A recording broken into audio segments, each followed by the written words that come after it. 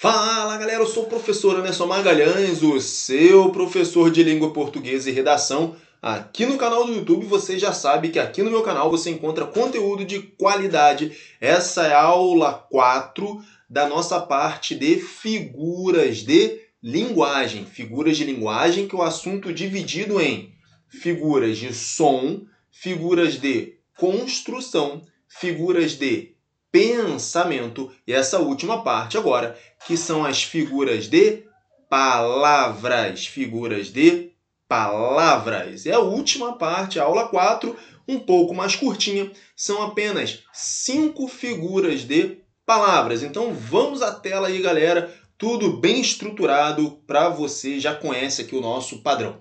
Então, o que são as figuras de palavras? Tá lá, ó. São recursos utilizados no intuito de produzir maior expressividade. Então, aqui, ó, maior expressividade. Para isso, usam-se palavras em sentido não usual. Utilizamos o sentido não usual. O que é o sentido não usual? É o sentido conotativo. O que é o sentido conotativo? É aquele sentido na qual a palavra sai do sentido do dicionário. Então, conotativo é quando a palavra sai do sentido do dicionário, né? fora do sentido de dicionário, beleza?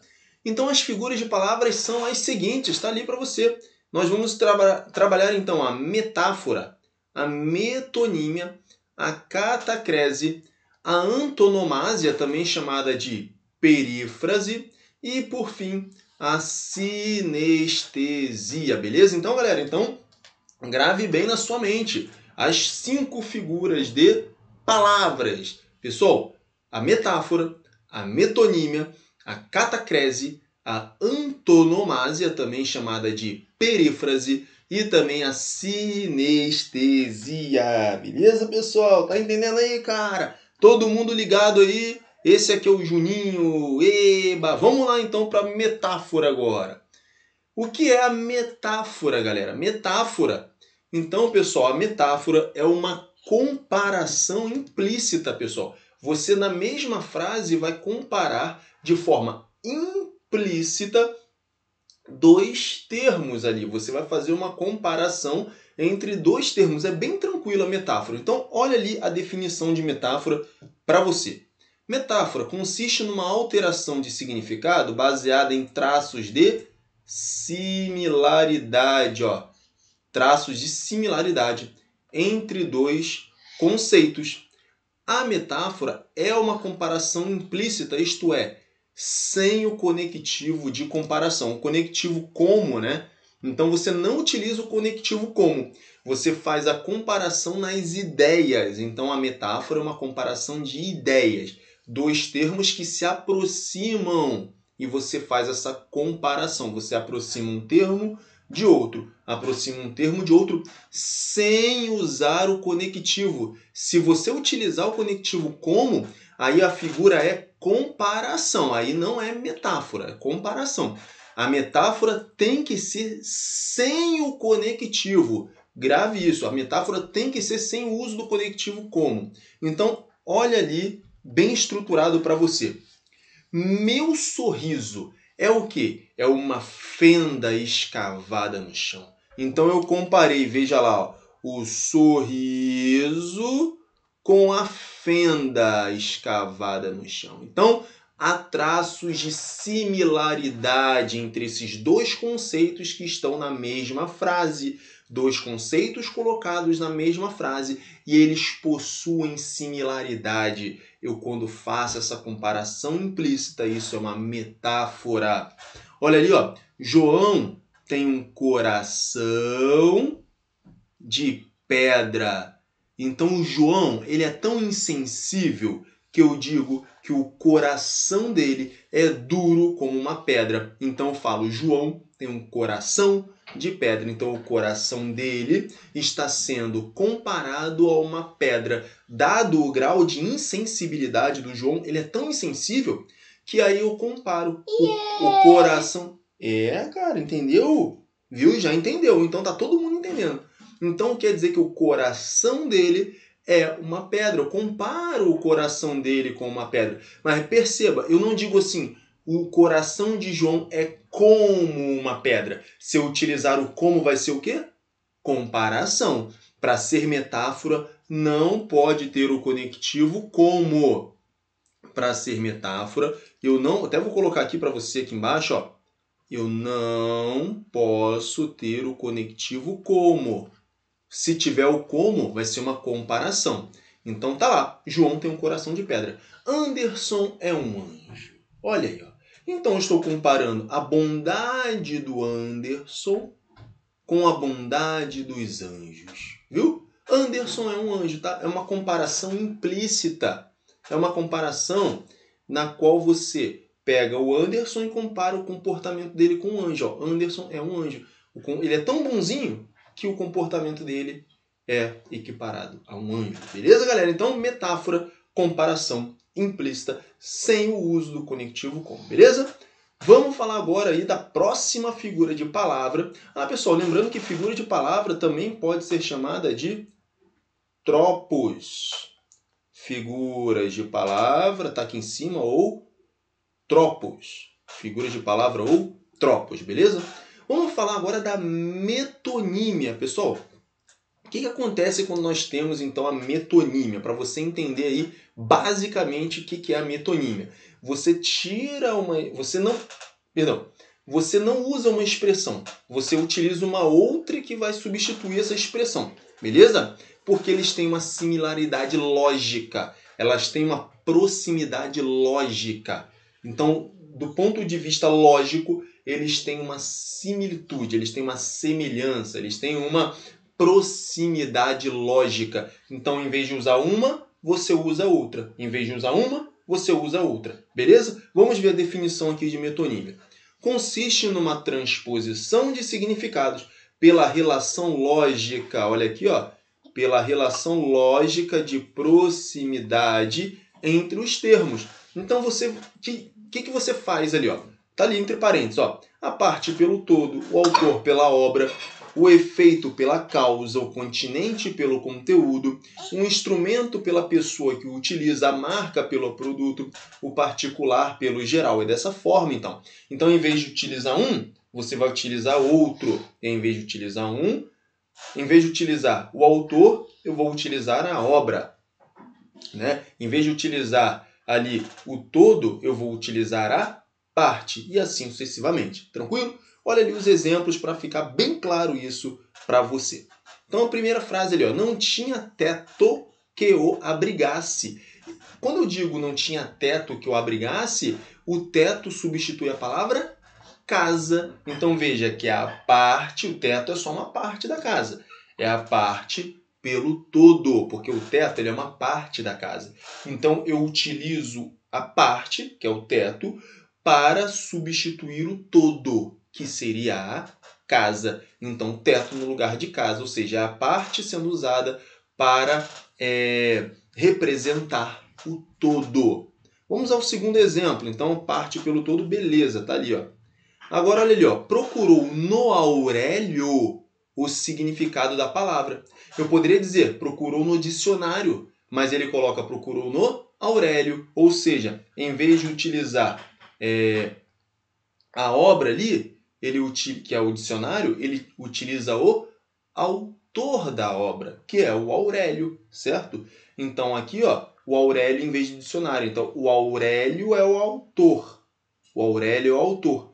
A obra é o dicionário. Então, ele usa o autor pela obra, em vez de utilizar a obra, ele utiliza o autor. Beleza? Então, o autor pela obra o autor representando a sua obra. Quando ele fala procurei no Aurélio, a gente já sabe que é no dicionário, beleza?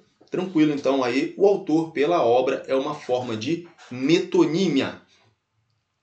Evitava tomar aspirina, olha só. Então ele não fala, ah, evitei tomar o ácido acetil salicílico. Quem fala isso? A pessoa vai falar que evitava tomar a aspirina, ou seja, é a marca que substitui o produto, ou seja, eu utilizo a marca em vez do produto. Quando isso acontece, também é um caso de metonímia. a marca sendo usada em vez do produto. O produto é ácido acetil salicílico, mas a marca é aspirina. Então você utiliza a marca em vez do produto. Isso é uma forma de metonímia, marca pelo produto. Olha, esse exemplo agora aqui é muito bom. Comprei o pão da minha família com o meu suor. Então aqui ó, é o particular. Quando eu falo pão, o pão é um, é um alimento. Então é um alimento particular, porque ele é um tipo específico de alimento.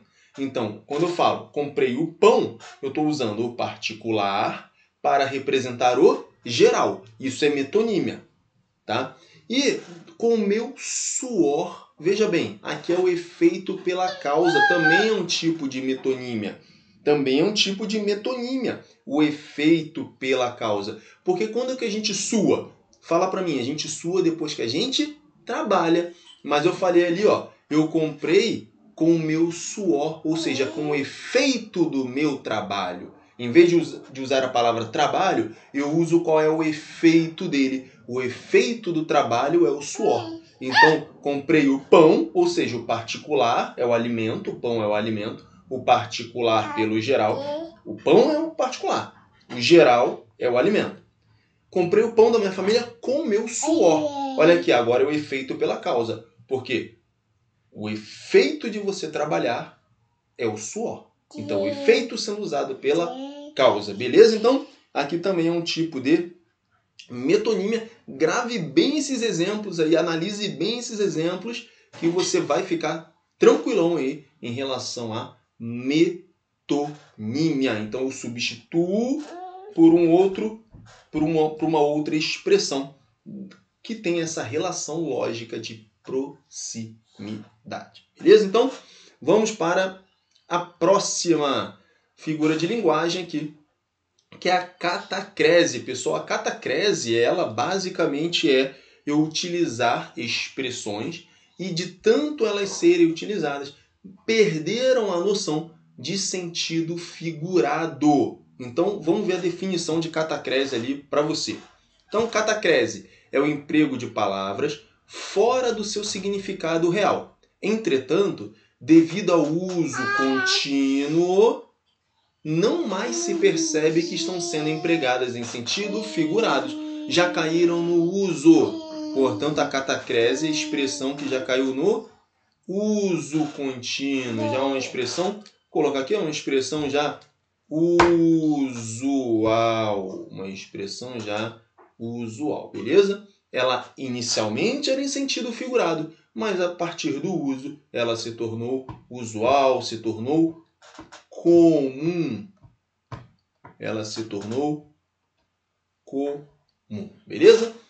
Mas é catacrese. Então olha lá, o primeiro exemplo. O pé da mesa estava quebrado. Ora, a mesa não tem pé.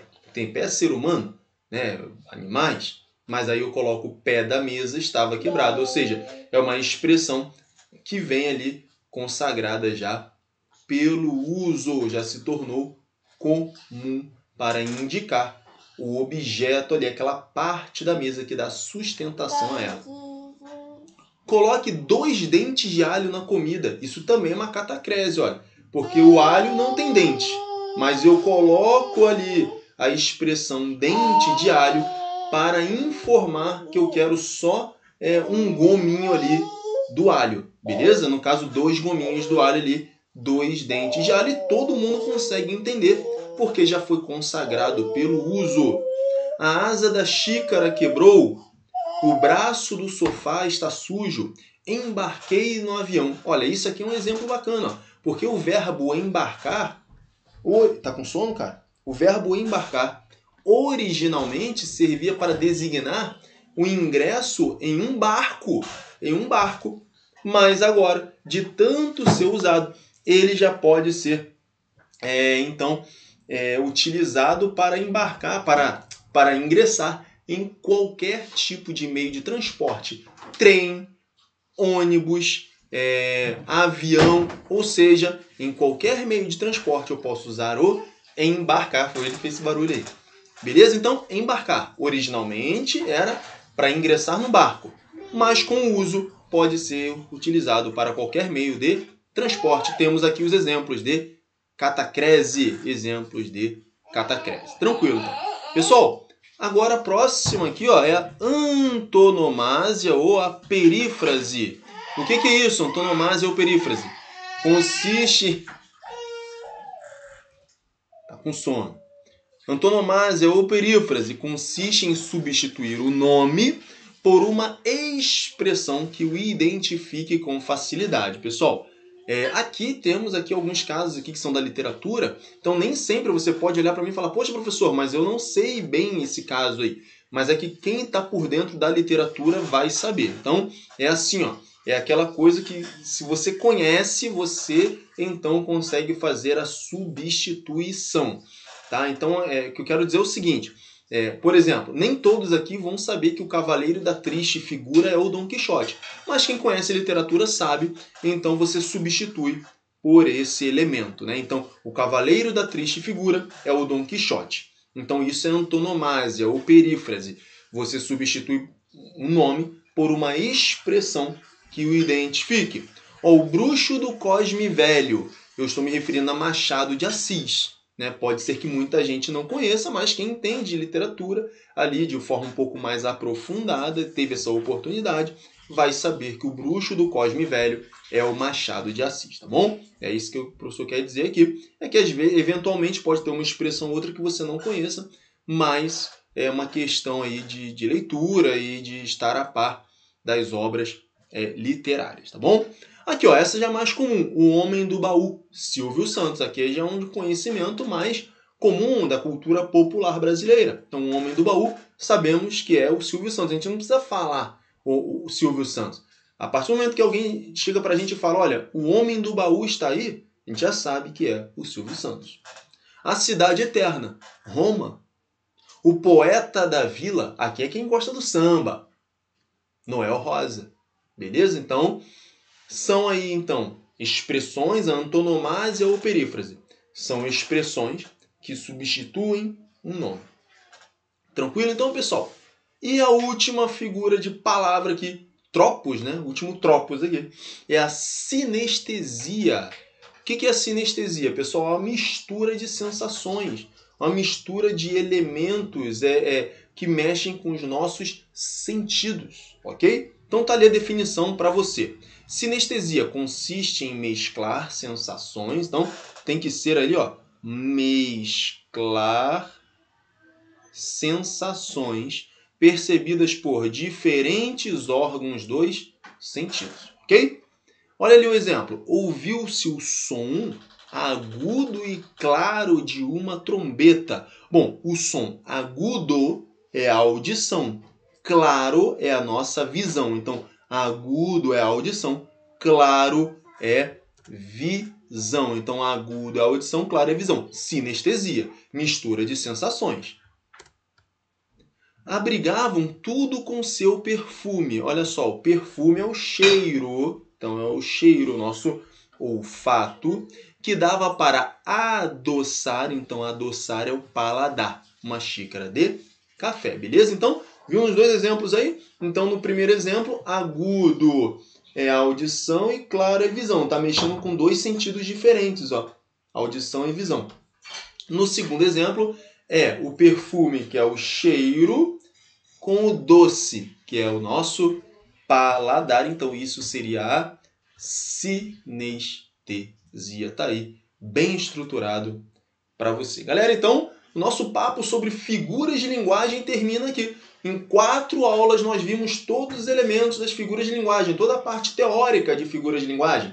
As figuras de linguagem, então, são divididas em figuras de som, aula 1, figuras de construção, aula 2, figuras de pensamento, aula 3, e as figuras de palavras, aqui agora na aula 4, tá aí, bem estruturado para você. Se ficou com alguma dúvida, comente aí. É, tamo junto, galera.